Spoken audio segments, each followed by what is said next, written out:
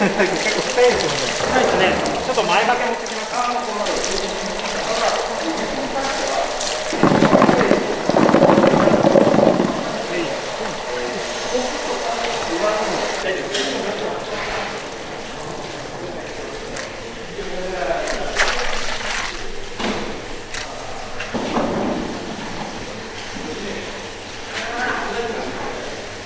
もともとあのリキュールを作りたいって話はあったんですけれども昨年のま緊急事態宣言を受けてからあのま検討をより加速しましてつい、え、先月やっと免許が下りたので、え、今回作るというような流れになっています。やっぱり日本酒はお米からできてますから、まあ、お米からできたアルコールと梅を